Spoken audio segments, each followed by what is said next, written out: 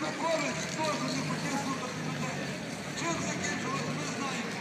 Тепер, коли прийде Гайдар зі зброєю, уже не буде палок і не втікнете нікуди.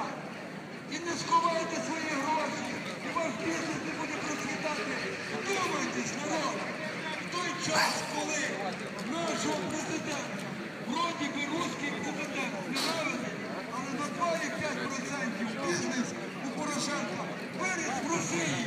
Що це означає?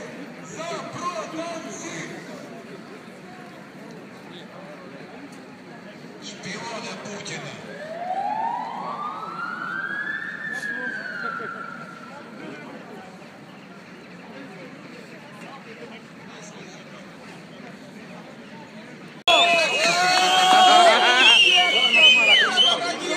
Офигенно.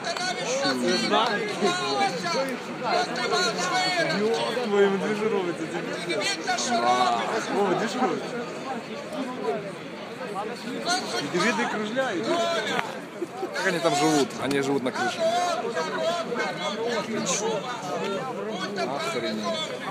Завтра відкривається позачергова сесія Верховної Ради.